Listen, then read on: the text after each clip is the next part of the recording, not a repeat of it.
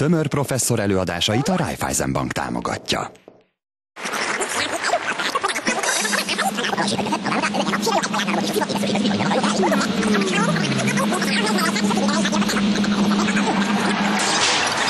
Majd tömör professzor. A biztosítás nem más, mint a biztosító kockázatvállalása valamilyen biztosítási esemény bekövetkeztére. Ilyen lehet például gépkocsink sérülése, lakásunk kirablása, vagy egy baleset. A biztosító a kockázatvállalása fejében neki fizetett biztosítási díjakból tartalékot képez, és ha a kár bekövetkezik, ebből kárpótolja a biztosítottat. A háztartások komoly kockázata a keresőképesség károsodása vagy elvesztése. Ezért is fontosak a baleset és egészségbiztosítások. Most nézzük az életbiztosítást, amelynek alapvetően két típusa van. A haláleseti csak a biztosított halálakor fizet, anyagi biztonságot nyújtva a kedvezményezetteknek. A megtakarítási jellegű biztosítás jellemzően halál esetén, illetve meghatározott idő lejártakor fizet. Ez utóbbi lehet olyan, amelynél a kifizetés összegét a biztosító garantálja, de olyan is, amely mögött általában befektetési alapok állnak, így akár nagyobb hozamot érhetünk el, de nagyobb kockázattal. Ugye? Így már is minden érthető.